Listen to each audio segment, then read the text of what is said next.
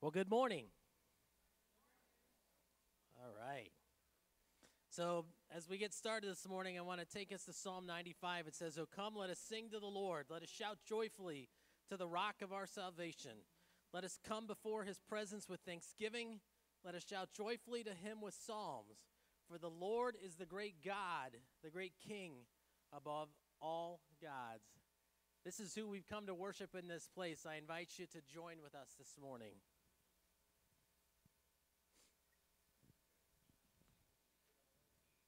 This might be a little newer to you. You might have heard it on the radio. You might have never heard it before now, but I hope as you catch on that you'll sing with us this morning.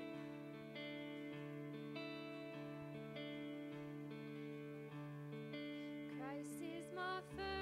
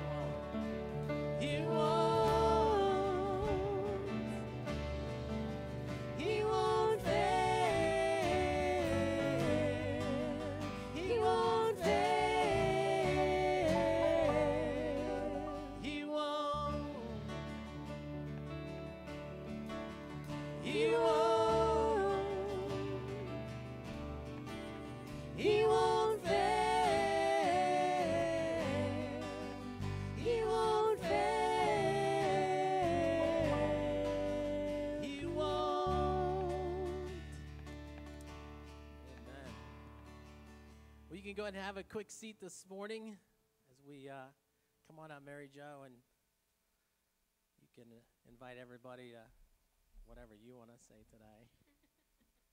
I will say, just in case uh, you're wondering, that song that we just sung is going to be our anthem as we leave this place. So if you didn't catch on to it as quickly, hopefully you'll hear it again at the end of the service and be able to uh, sing louder with us. But uh, we always want to have a new song in our heart, and uh, so thanks again for worshiping as we started uh, out that way this morning. Thank you. Hi. Good morning. Oh, thank you. That's they're awake. This one. Mm-hmm. They've had their coffee. Okay. Um, so I'm Mary Jo Loverink. Um, if you know a Derwin in the church, that's who I belong to. There's three different age groups of Derwins. They're all mine. Father, husband, son. Um, so just to give you some context, that's that's me. Um, so as a church, we like to be connected. Um, if we don't know you, if you're new here, first of all, we're glad that you're here, whether you come here every Sunday or this is your first time. Um, the fact that you're here and worshiping with us and connecting with Jesus is amazing. So thank you for that. Um, if you are new, we would love to get to know you better. I mean, I guess we, but me specifically, I would like to get to know you better. Um, if we haven't met, I would love to meet you. Come see me after the service. I, I promise I won't harass you, but then we can say hi and it won't be weird, so that'd be great. Um, so, but as a church, we like to be really connected. This is our family. Um, this is our priority every Sunday. Um, and so, with that, life groups, um, if you haven't heard about it before, it's a really great way to get involved. Um, basically, it's a smaller group of individuals that make a commitment to each other to get together, to um, get to know each other, connect spiritually, encourage each other. They can also hold you accountable if you need it. Um, we've had that too. Um, but basically, uh, just to share with you about life groups, um, it helped us through COVID. Um, just kind of give you an example of how it can be beneficial for you. Uh, COVID was a scary time, I'm sure, for most, if not all of you. Um, your schedules changed, your routines changed, church changed, um, at least for a little while. Uh, during that time when we didn't really do anything normal or see any of the normal people that we see, life group was still a commitment for us and for the friends that we've made there. We still saw each other by WebEx or texted each other, called each other. It's just a smaller village to help you um, through good times and bad. We've celebrated some great things, you know, births of children and new jobs, things like that. But um, it's just a really great way to dig in deeper to your church family and get, get some closer ties, people who you know you can connect with and, and see on a regular basis. So if that's something that would interest you or it's something that spe- speaks to you, you know, you're like, wow, that sounds really great. I wish I had that. We have it. Um, you can reach out online, um, fill out a connection card. You can also email Leanne Dyer. Um, if you're new, you might not know her. Um, but Leanne Dyer's information is on the website. This is also her family up here, husband and, and daughter. Don't hold that against her. um, but they can any, anybody can help you get directed. Um, so please don't hesitate to reach out. Um, we will get you to where you need to be. Um, but we're so glad you're here. Thanks again for for coming to First. Have a great morning. Thank you, Mary Jo. Well, why don't we stand as we continue to worship today? Um, I want you guys to know that uh, every time that we get an opportunity to proclaim the name of Jesus in this place and even outside this building through song, um, I'm very intentional about always having it be based in this book right here. And so as we continue in worship this morning, I want to take us to Philippians 2. And it says, uh, But he made himself of no reputation. This is Jesus, taking the form of a bondservant and coming in the likeness of men. And being found in appearance as a man, he humbled himself and became obedient to the point of death, even death on the cross. Therefore, God has highly exalted him and given him the name which is above every name, that at the name of Jesus every knee shall bow of those in heaven and those on earth and those under the earth, and that every tongue should confess that Jesus Christ is Lord to the glory of God the Father. As we continue this morning in worship, may we proclaim the powerful name of Jesus.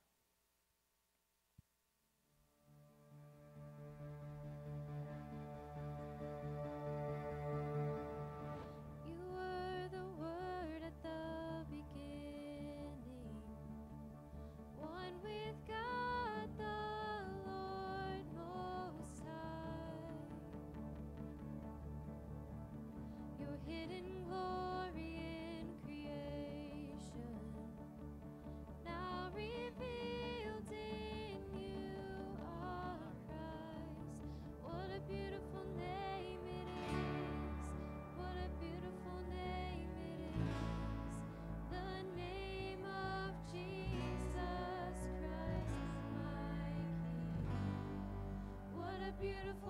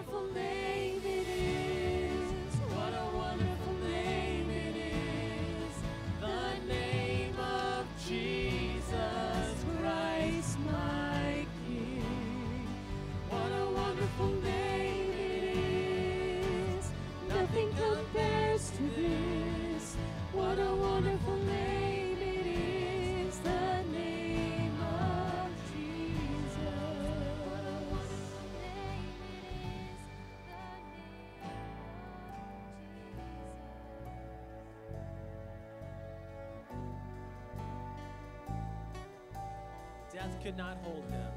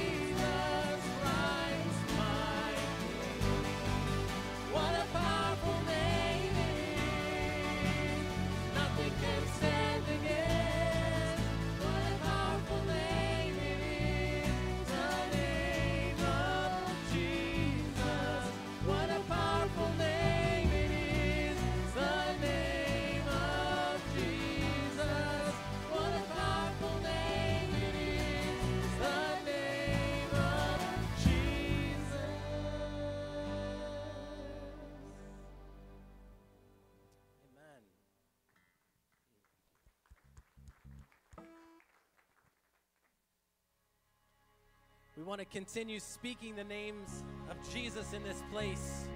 He is our provider, our deliverer. He is Jehovah, God who saves. I hope that as you speak these names of Jesus, you understand exactly who He is.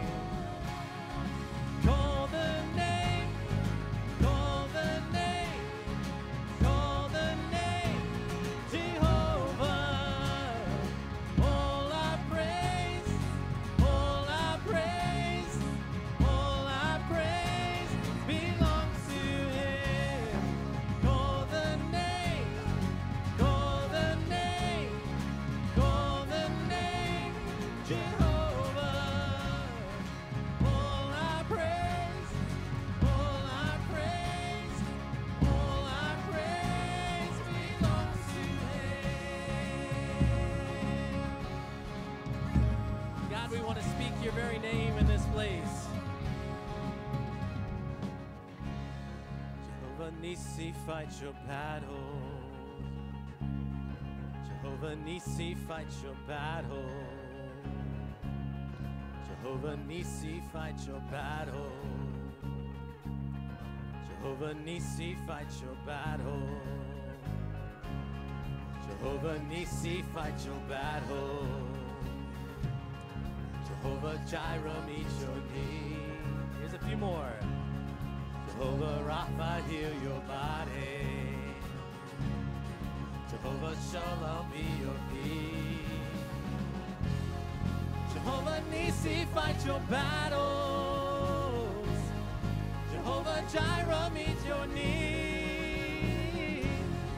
Jehovah Rapha, heal your body. Jehovah Shalom, be your peace. Jehovah Nissi, fight your battles.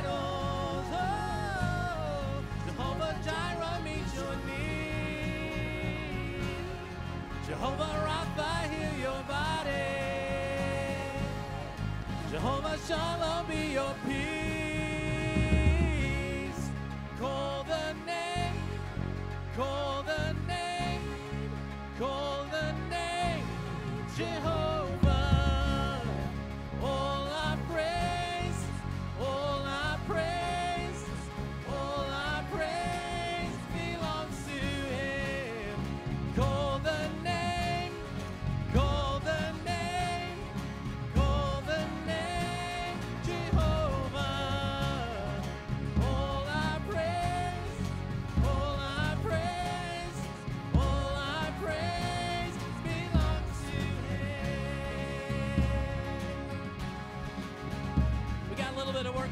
Work on it. Amen. God is Jehovah. He is our healer, our provider. I love that we can uh, praise Him in this place today. Um, we have another new song. Hopefully, you uh, had a chance to see it on Facebook this week. Uh, it's called Endless Praise, and it's just this idea of one day, for eternity, we will get to praise Him. And uh, so I pray that you get a picture of that as we worship Him in this place today. So I invite you to sing along as you get familiar with this song.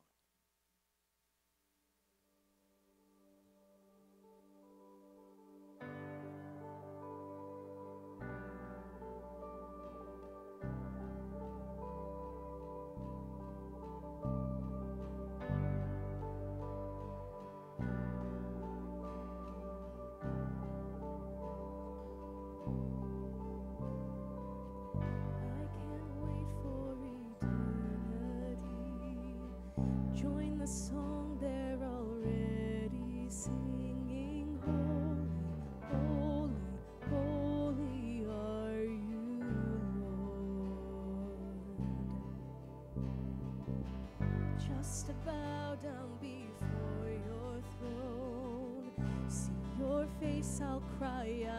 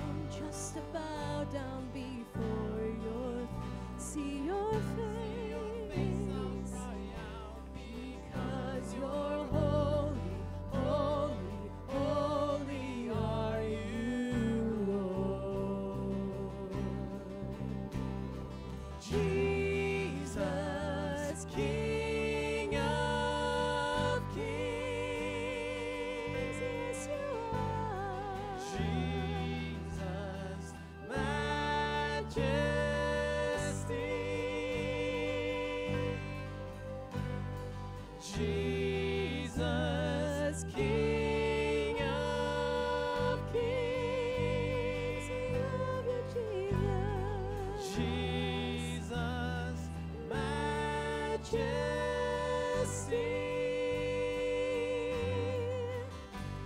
with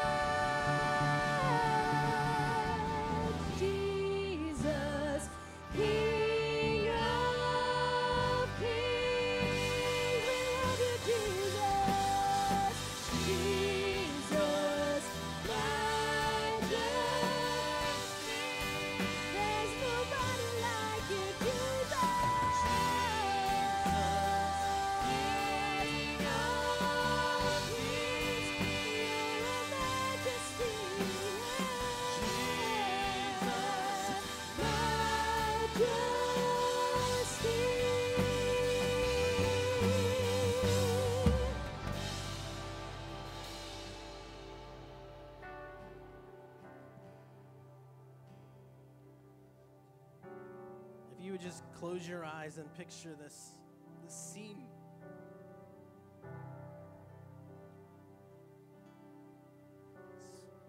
What we've been singing this morning.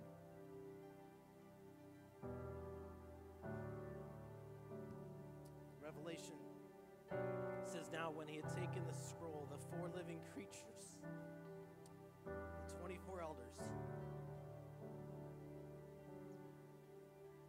fell down before the Lamb, each having a harp and a golden bowl full of incense, which are the prayers of the saints. And they sang a new song, saying, You are worthy to take this scroll and to open its seals.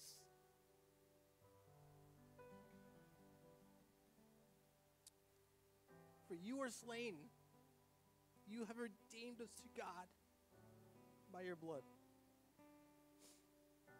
out of every tribe and tongue and people and nation, and have made us kings and priests to our God, and we shall reign on the earth. Then I looked and I heard the voice of many angels around the throne, and the creatures, the elders, the numbers of them tens upon thousands upon thousands upon thousands. And they all declared in a loud voice, Worthy is the Lamb who was slain to receive power and riches and wisdom and strength and honor and glory and blessing. Amen. You may be seated.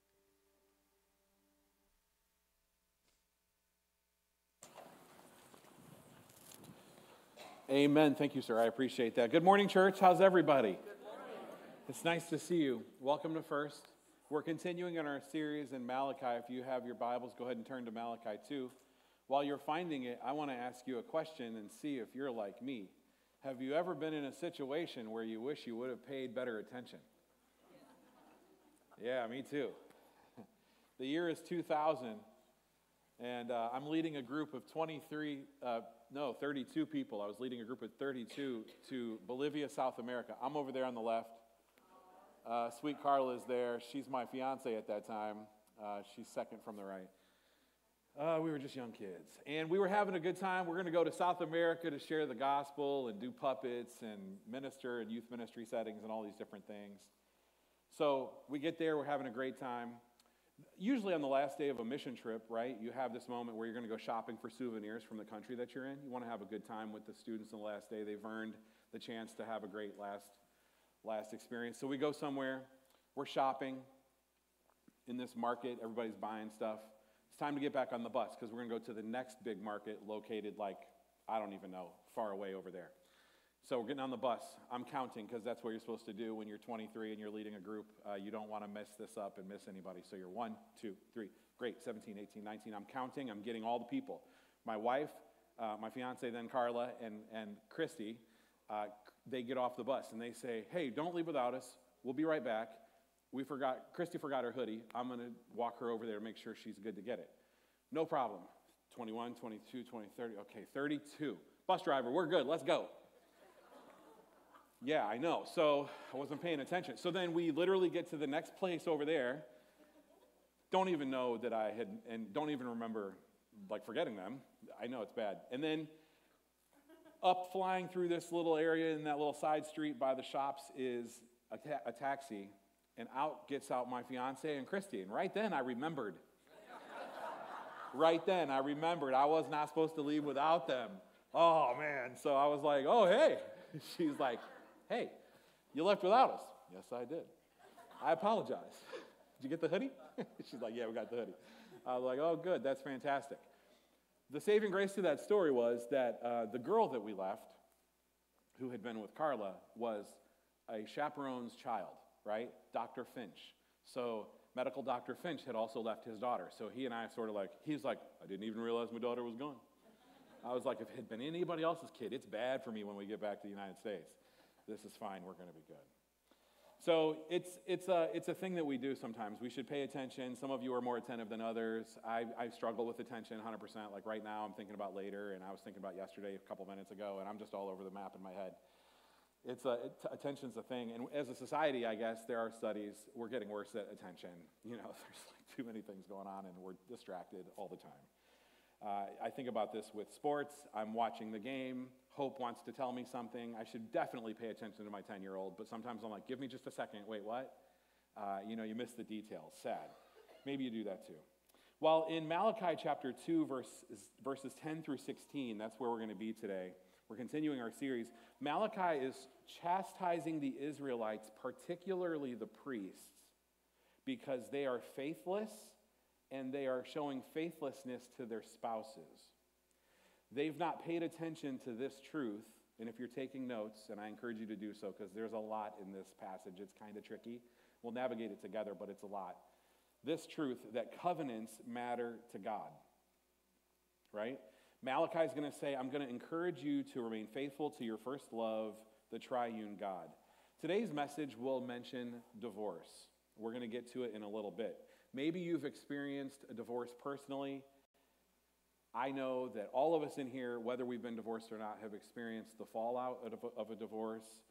Let me just put you right at ease. The, the message this morning is not to single you out, to point you out. It is not to say you are a second class Christian. How many of you know the Bible says there's no condemnation now for those who are in Christ Jesus? How many of you know that, right? So, this church, yeah, we don't, we don't We don't look at one another and be like, oh, they've been in a divorce, or they're in a divorce now, or I heard, I heard they're going. We're not doing that. If you've been divorced, you probably did everything you could, right? It takes two people in a marriage to make it work.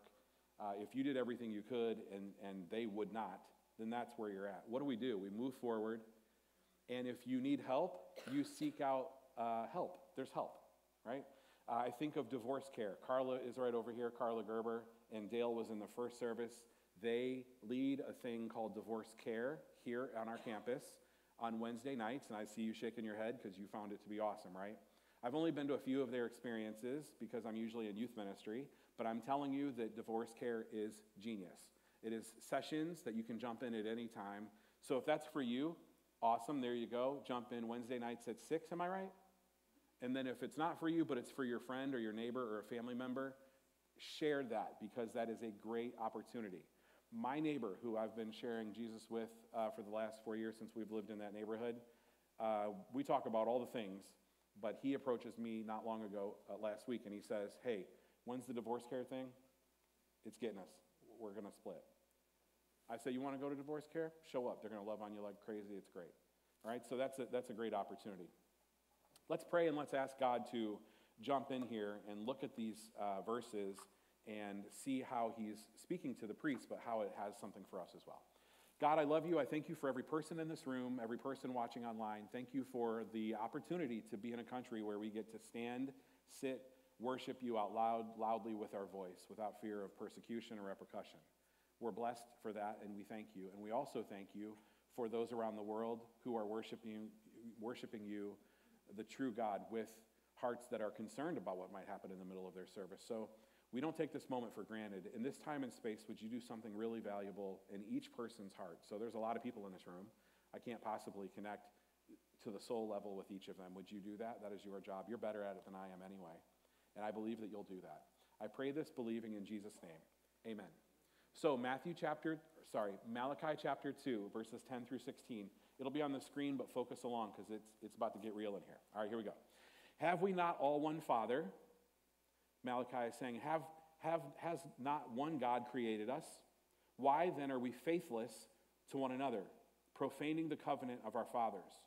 Judah has been faithless, and an abomination has been committed in Israel and Jerusalem.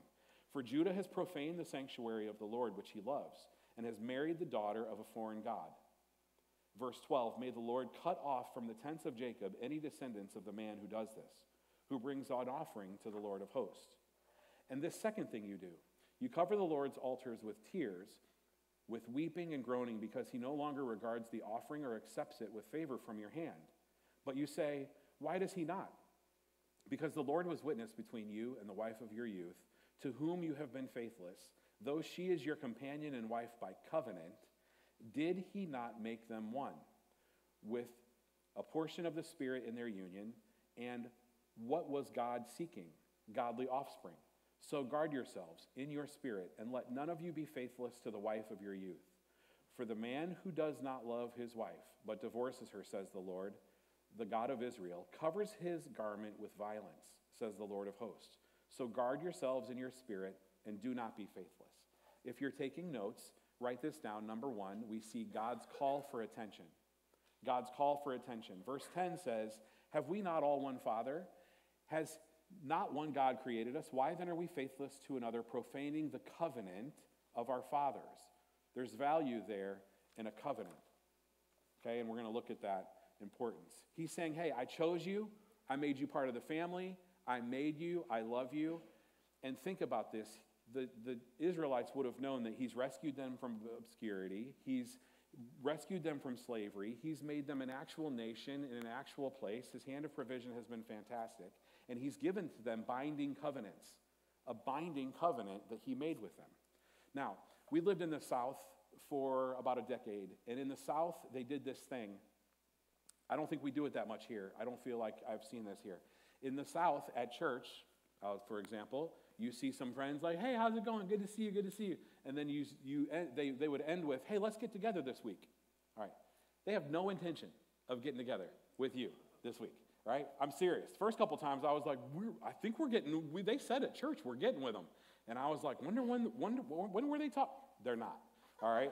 And so they were like, You thought maybe lunch, or they'll say, Yeah, let's get lunch. Let's grab dinner this week. Oh, that sounds good. It's not going to happen. It's just not.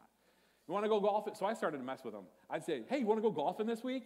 And they'd be like, Yeah. And I'm like, Me too. See you there. I'm not going golfing with them at all, you know? So you just have these moments and you just realize it was just something nice ish to say. Like they weren't actually, there was no covenantal agreement in that. That was not, so covenants are super serious here, and that kind of moment at church was like right down here. It wasn't really going to happen. They never meant it, they just wanted to have something to say. Binding covenants are way more significant than that. And Malachi asserts here that the only reason you people are created as a nation, in fact, the only reason you exist is because of me.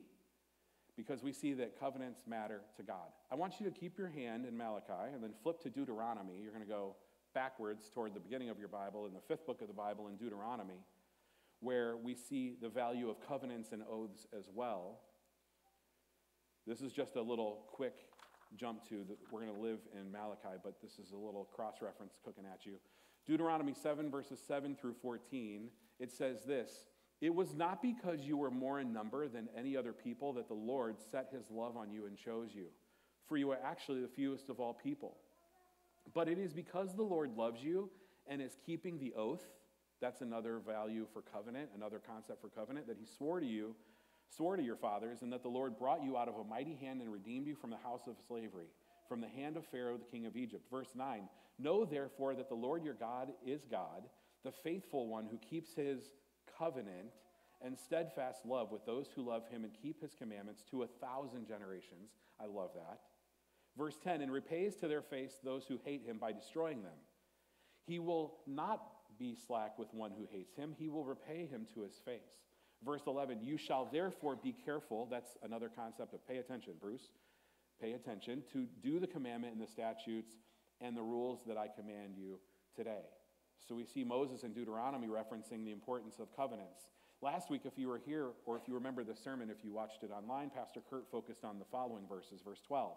And because you listen to these rules, paying attention, and do them, the Lord your God will keep with you the covenant of his steadfast love. He just goes on and on. He's, he's very serious about these, these covenants. Uh, verse 13, and then f- verse 14 says, You shall be blessed above all people. So, going back to Malachi, you can flip out of Deuteronomy and go back to Malachi. Malachi's message is simple here. Don't forget where you came from, and don't forget who called you. Fast forward to today, 2023. Don't forget where you've come from. Pay attention here, believers. Question you can answer out loud Has God been so good to you? Yes. I think on this first point where he's where he's definitely like, hey, I'm calling for attention. I think God's calling for our attention. That can be a simple takeaway for us. He's made us, He's created us, He's made us. For those of us that have put our faith in Jesus, He's transferred us from death to life. Let's go. That is the best news ever. There is nothing better. I'll encounter nothing better in my existence, right? The best ride at Cedar Point when I was 13 was the coolest thing I had experienced. Does not top the love of God for us. Nothing tops that. The Bible says there's more value on what Jesus did on the cross because it saves our soul than even to have the whole world. The Bible says, What does it profit a person if they gain the whole world? Wow, I got the whole world. Not going to lie, if somebody hits the 1.7 billion, that'd be pretty cool. But what can you compare that to the value of your soul? So, what Jesus did is way more valuable than anything we could gain, acquire, or a ride we could seek. Bless you. Twice if you need it. I only do twice after that. Sorry, my atten- I legit struggle with attention, so I was right there with you. I was like, I feel for him.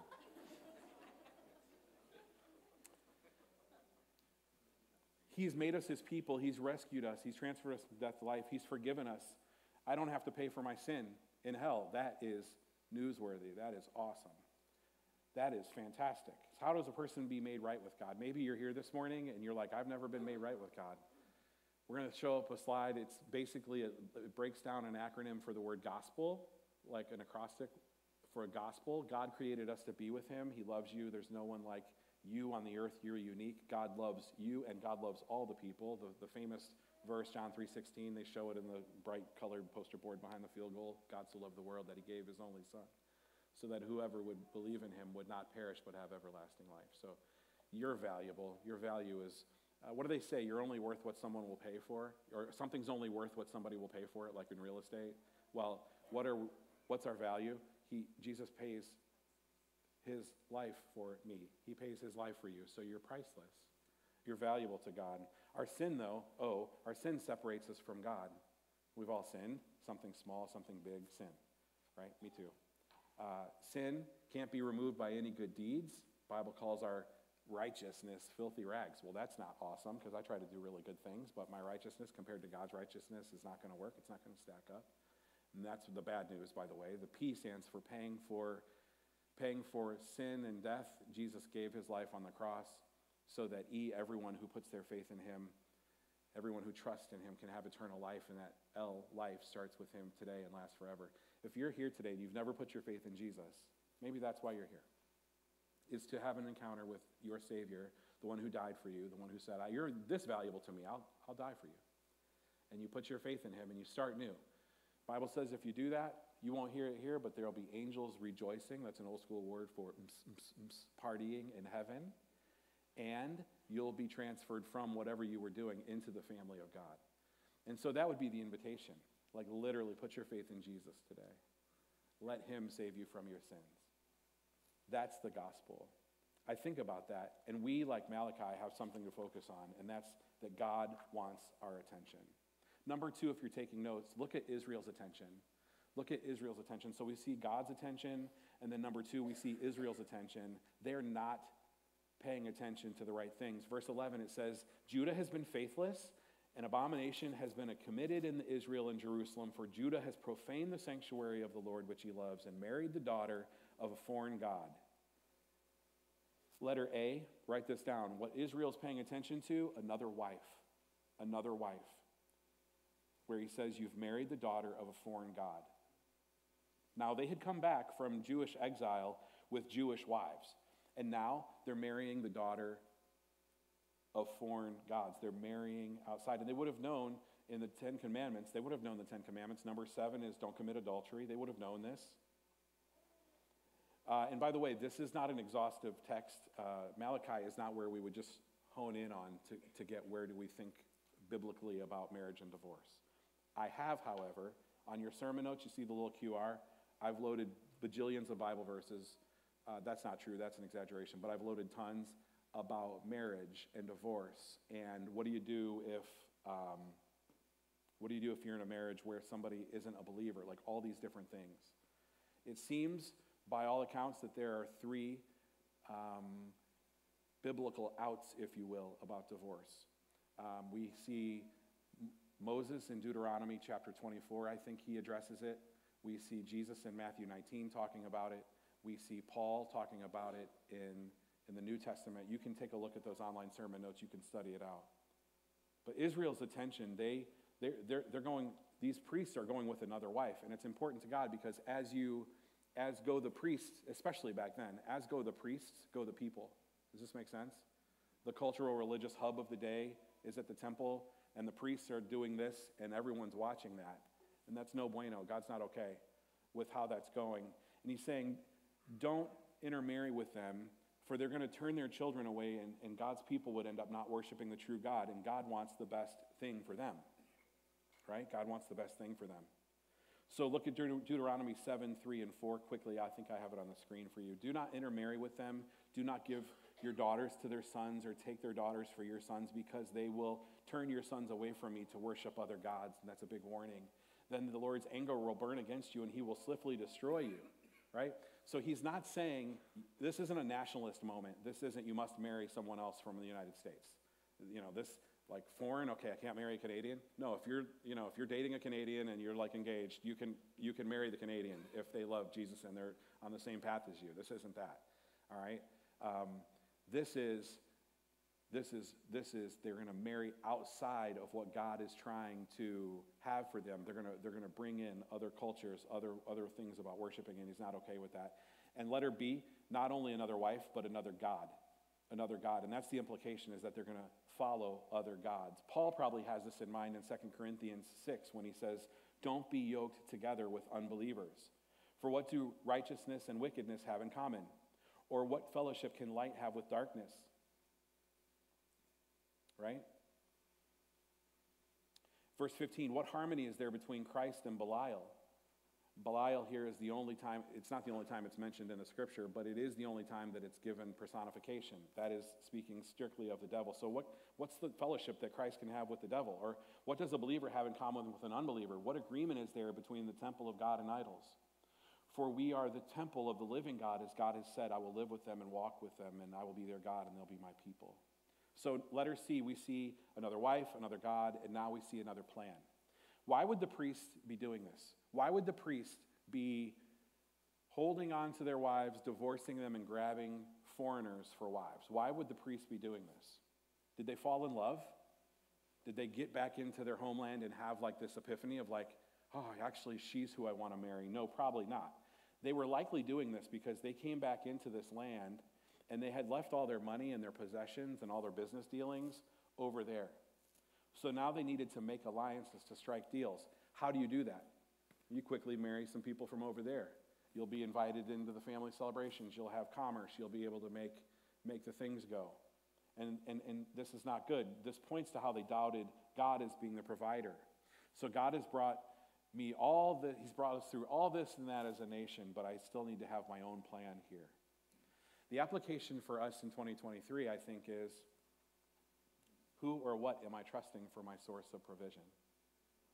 Am I willing to settle my, am I willing to settle and lessen on my values and on my integrity just to have the deal, just to have the personal success?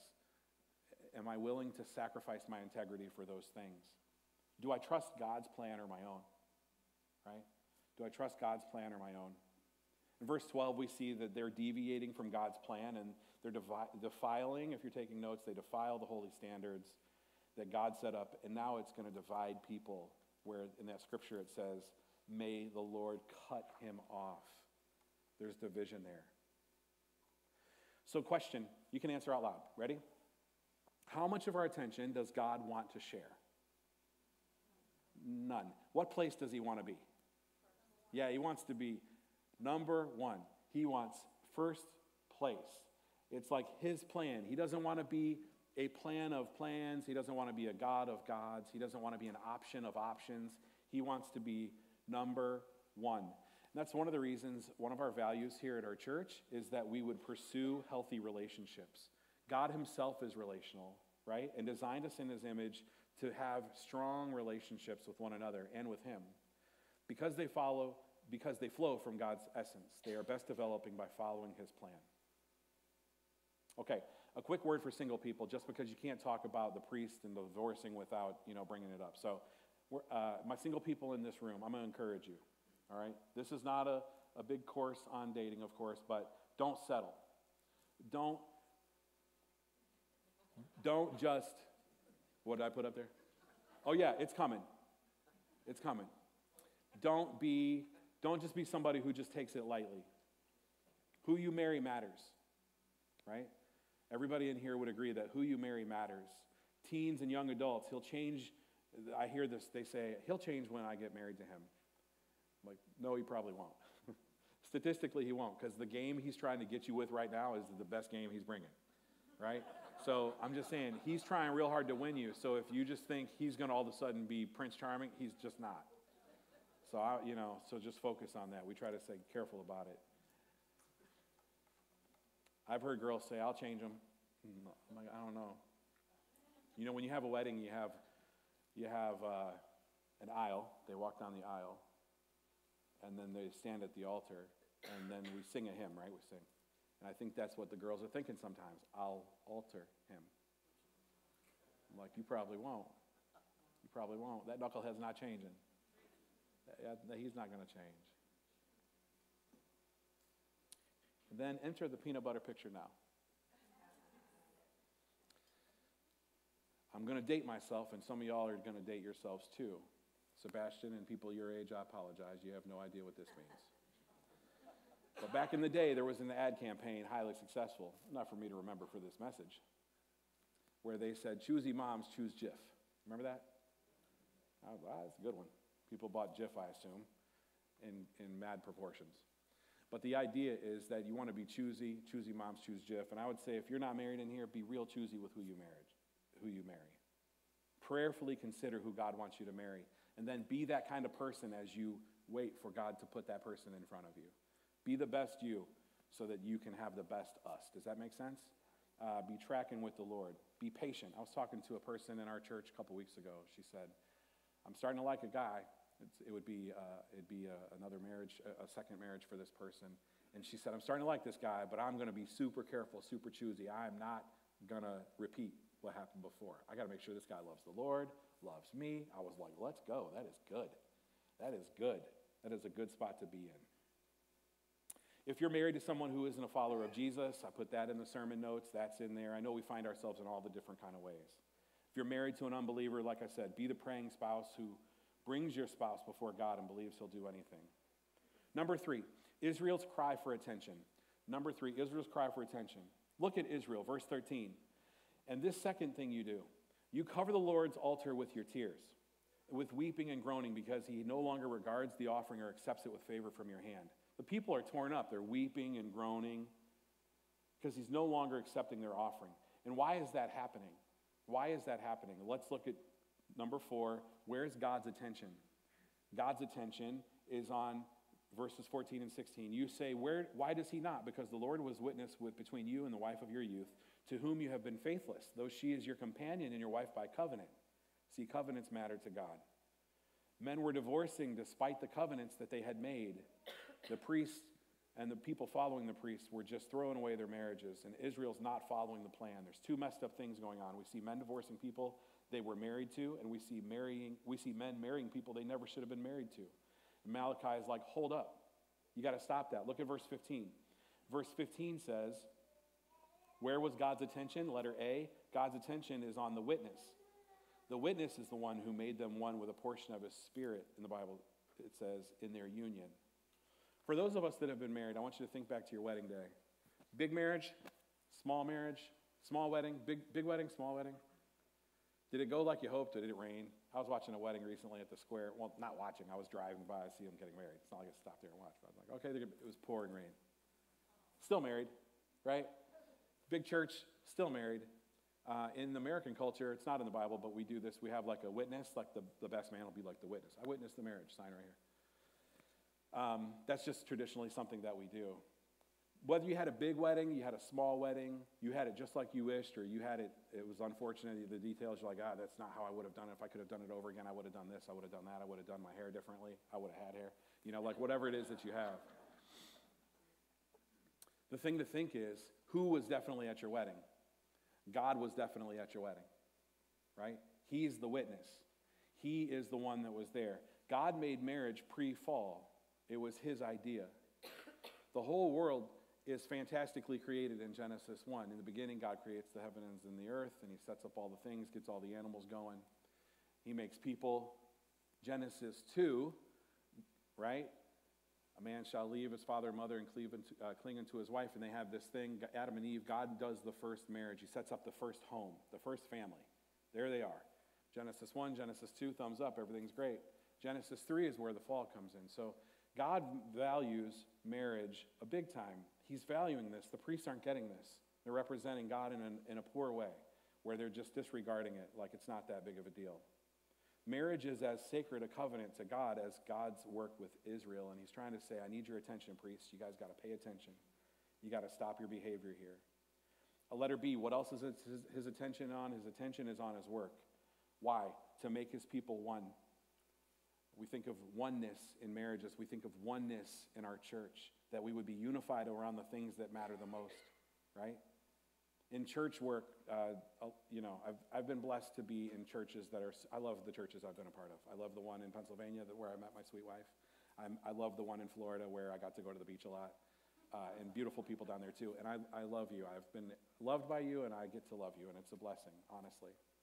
I think about the work that God does in our church and how, despite differences, we can still hang out and be awesomely on track with one goal, right?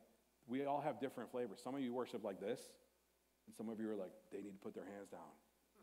I'm very much more conservative than that, you know? Some of us like the guitars, and some of us are like, I don't know, I'm not a guitar guy. I love that I don't hear the over our worship. We got people who are 16 and people who are 76 and people are in the same building worshiping one God, looking past the flavor of our, of our, of our preferences and saying we're going to lean into the Lord. I love that. That's beautiful. It's precious, right? We can all have different things that we love, but the unity is what God seeks. And he, he seeks that in our church. He seeks that in our marriages. He seeks that in our homes. He's a unifying God. He wants that. And then I want you to ask this question, and you can answer it in verse 15.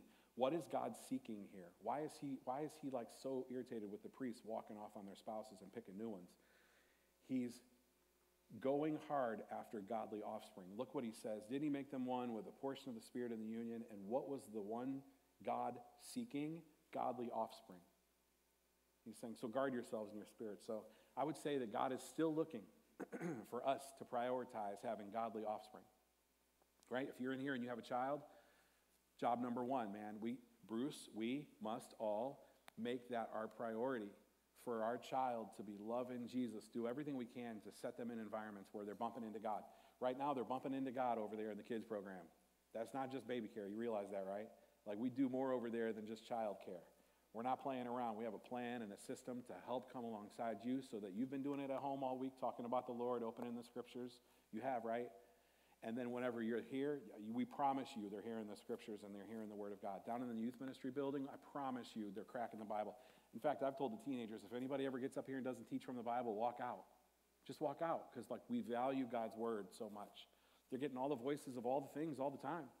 All the TikToks and all the Instagrams and all the things, and so are you. You're bombarded with all the messages, the, the marketing. You're very valuable to the marketers. They want to pay billions a day to get our attention, right? But what is it that we should be doing when we're in here? We should be worshiping God. We should be focusing in on the scriptures, and that happens in the Fuse building, I promise you. Right? So he's saying, focus. I want godly offspring. I think about people who are in here like, I raised my kids. What do I do? No, you, you are like spokes on a wheel. I have two, God has blessed me with two children, and one that we'll see uh, one day that didn't quite make it. So what we do is we lean into uh, many people making an impact on our kids. Does this make sense? It's like spokes on a wheel. I need you to love my son toward Jesus. He needs to see men being men of God in his church. Not, that, not just his dad trying and sometimes doing good and sometimes failing, honestly. He needs to see marriages that are trying, that are working, and he needs to see successful in your career people who are like, yeah, I'm good at that, but I really value God. I really value my relationship with God. He needs to see that, right? My daughter needs to see women who have hearts, who are passionate toward Jesus, not just from uh, my wife, which is her mom, and she has a sweet heart. My mom is here, not just from grandma, although those are valuable. But like everyone plays a part in this godly offspring thing, I think, right? And so we, he, he's driving toward this goal of godly offspring. So it's very, very value, valuable. Um, and then he says to the priest, Guard yourselves in your spirit. Let none of you be faithless to the wife of your youth. Look at this, the verse, the warning in, in verse 16. It says, For the man who does not love his wife but divorces her, says the Lord of God, the Lord God of Israel, covers his garment with violence. Yikes. So guard yourselves in the spirit, pay attention. It's like, uh, and I see it like this pay attention, focus. He's like, Malachi's like, focus. Have you ever worked with horses? Anybody else super allergic to horses in here? We did a thing yesterday down in um, Mount Vernon with a bunch of horses. They use horses to share the gospel and help kids uh, from hard places. They bring the horse, they have therapy, and it was beautiful. We helped shovel, and every leaf in Ohio was right there that day, and so we tried to rake it. And I was like, it's not even. We're gonna have to do it again. So, but we went down there and we hung out with horses. I love horses. These horses, the students got to ride the horses. It was great. Um, a lot of times, horses will have blinders right? Because they're like, pay attention to this. The, the operator doesn't want them just to be doing whatever because they'll know they'll wander, they'll, they'll stray. They put these blinders on these horses. And interestingly enough, uh, take your two hands with me. Ready? Sign language. You ready for this? I'm going to teach you a little something, something. Pay attention. That's it.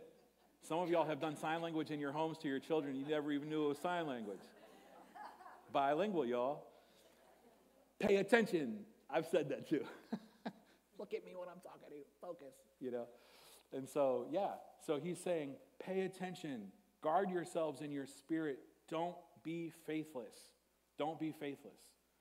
We see it on the witness, we see his attention, God's attention on his work, and number or letter C, we see it on his ways. What are some of the ways we're supposed to pay attention here? I would say number one, treasure your marriage. Treasure your marriage. My married people, if you're married, where are the men at? Give, let me hear a manly, like, here I am. it's so good, right? Men, nobody should fight harder for our homes than us. Can I get an amen? amen? Fight for your home.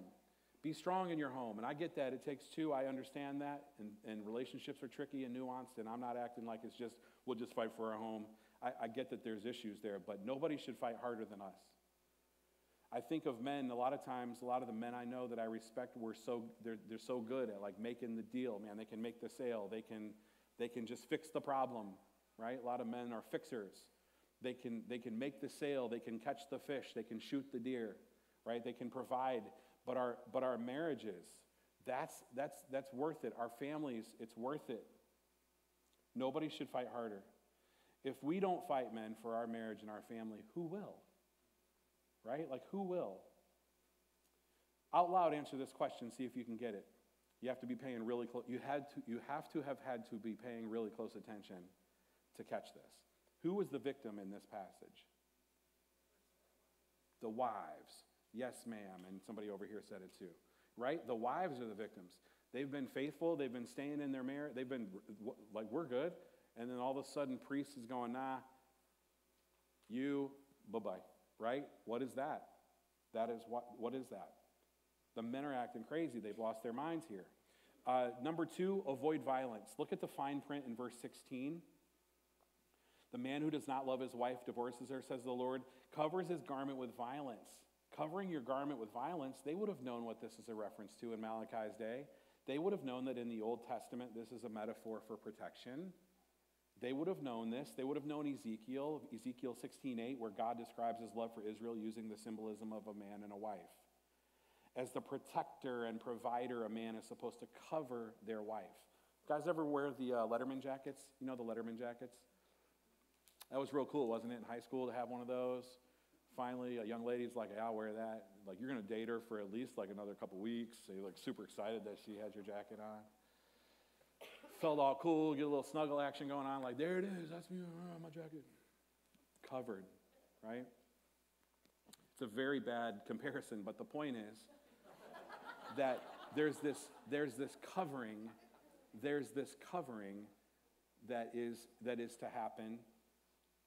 There's this covering to happen, and it's supposed to be protector provision, but instead of a covering of protector and provision, the Bible says that he's actually covering his garment with violence. He's bringing violence on himself. His own code, he's bringing on violence on himself.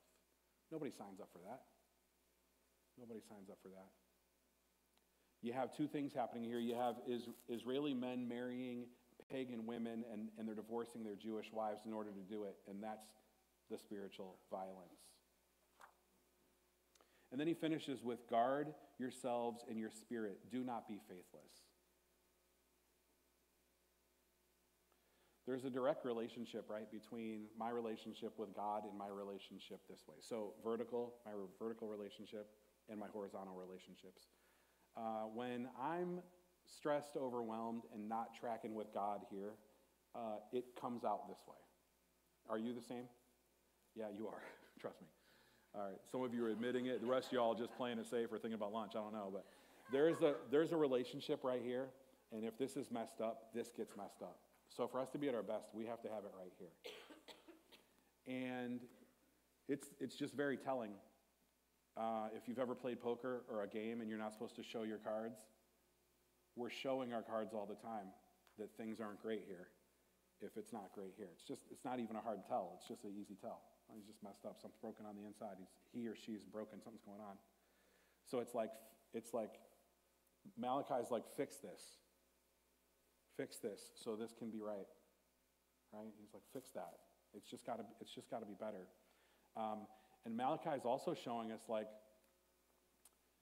you've been stepping in it. You need to have some redos. And in the next few chapters, that uh, next week, Pastor Kurt's son is going to be preaching, and I think the week after that, Pastor Kurt's back on.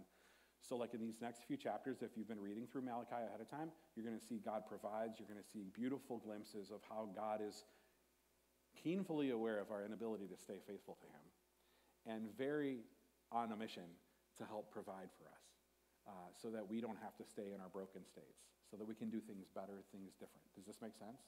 It's a beautiful thing what He's done for us. We know the end of the story.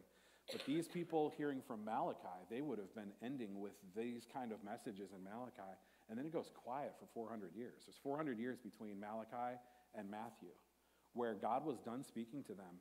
It's like, I'm quiet. Can you imagine living in those 400 years? You've had prophets speaking, you've had people directly giving you the messages of God. It's been like fantastically on everyone's lips. You're totally a nation that's under God's authority.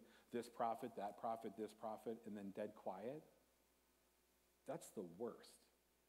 I'd rather have someone argue with me than go dead quiet right? And that's what's going to happen. We'll see God's grace and mercy as He tracks with us in the rest of these weeks as we finish out Malachi over the next course of this season. So, application. In your notes, I don't think I have them on the screen, I just have the word application. But in your notes, I have some possible applications. I would ask you this morning who or what has your attention? Who or what has my attention? What should I be paying attention to this week? I love God for many reasons. One of them is when there's an experience like this, we're all thinking about different things. God is whispering to each of you differently. So it could, what, like yours is not mine. Does that make sense? Probably mine is not yours. Like what is, what is it that I should be paying attention to this week? He's over and over again telling them to pay attention. Number three, paying attention. Are you paying attention to God's love? Have you paid attention to that? What about healthy relationships? Are you pursuing healthy relationships? Right? Anybody you need to fix it with, anybody you need to solve it with, anybody you need to actually just cut free and say, look, you can't be in my inner circle anymore. I just, we're not on the right, we're not on the right path. Any relationships to fix? Uh, number five, are you paying attention to your marriage covenant? Right? Are you paying attention to your marriage covenant? Bruce, who's going to fight for your home if I don't? If you don't? Uh, number six, I have this one down. Am I tempted to step outside of God's plan for me by doing something I want or I think would be easier? Right? Is there a, am I sidestepping awesome just to track with easy or quicker? And then I think one that we can all have in here is thanking God for his faithfulness even when we are unfaithful to him. I am so thankful that my eternal soul and my eternal salvation does not depend on my ability to keep the rules God has for me to walk 100% constantly in his ways. Anybody else? If we just focused on that, we would be celebrating for, actually, we will focus on that and we will celebrate that for eternity. That's going to be the big play. You let me in? I cannot believe it. I cannot believe it. You let her in? I actually really can't believe. Oh, my bad. That's I can't I can't believe it for me. Or you or you or any of us. It's going to be this moment where we're just like overwhelmed forever with the grace that God has extended to us. He's been so good, even though we're faithless, He's faithful. It's good. Let's pray. And then the band is going to come when I pray. And we're going to sing that song, He Won't, which speaks clearly about the faithfulness of God. So I'm going to say amen. And then when we sing, let's, uh, let's sing like we've been redeemed, like we've been saved, like we are valued, like we value the one who values us, the one who's faithful even when we are faithless. Yeah? Let's do it. Heavenly Father, thank you for Matthew. No, I'm wrong. Heavenly Father, thank you for Malachi too. And thank you for this opportunity to look into your scriptures this morning. Thank you for the message to pay attention. Thank you that even though you're speaking to the priests thousands of years ago, you're preserving for us this importance of paying attention to covenants paying attention to the, to the covenants that you've made to us and that we uh, ought to live how we ought to live. God, I pray for the people in this room as they right now are connecting with you in prayer as well, that they, we all, would track with you and do what it is that you have for us. You've already seen this week. You know what's going to happen this week. We have no idea. We don't even know if we're going to make it out of the parking lot. But you already have been in this week that's coming. So help us to live in that, realizing your faithfulness stretches, like, like the scriptures say, thousand generations and even beyond. And so we bless you. We thank you for your faithfulness. And we're going to sing like we mean it. We're going to have a great week depending on you. It's in Christ's name I pray. Amen. Let's stand and worship, yeah?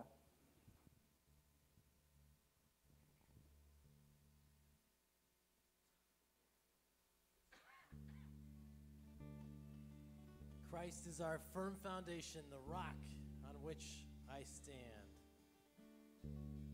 It's going to be a promise that all of us can have in our lives. Let's lift up our voices. Christ is my firm foundation, the rock on which I stand when everything around me is shaken. I've never been more glad that I put my faith in Jesus, cause He's never let me down faithful through generations. So why would he fail now? He will.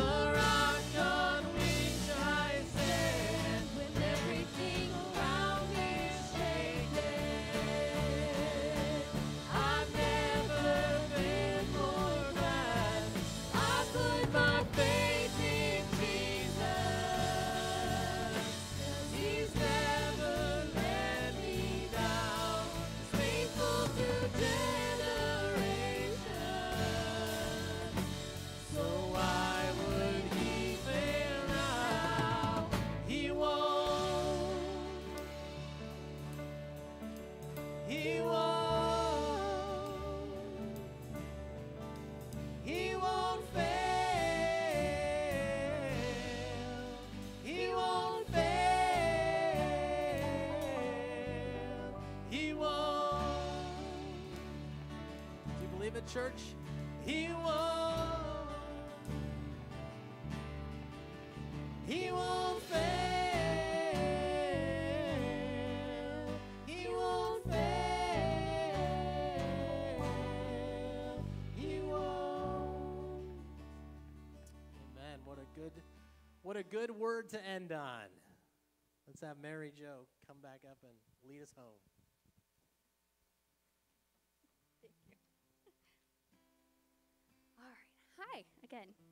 Promise I'm almost done. um, I hope you guys connected with Jesus. Um, our worship team did a great job. If you wouldn't mind giving them a hand.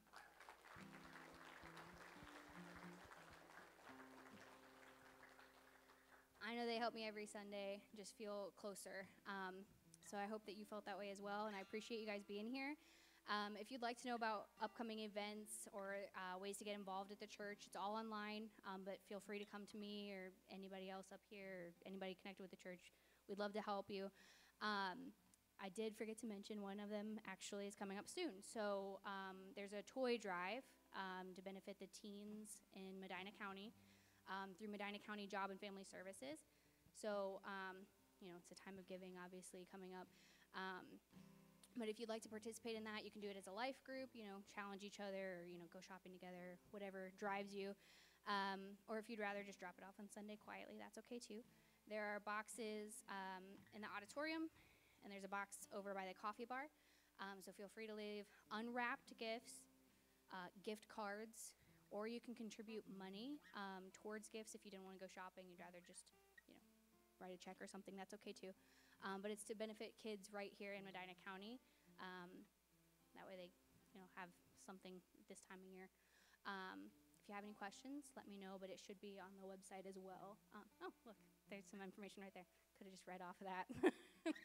um, but thank you for being here, and I hope you guys all have a great week.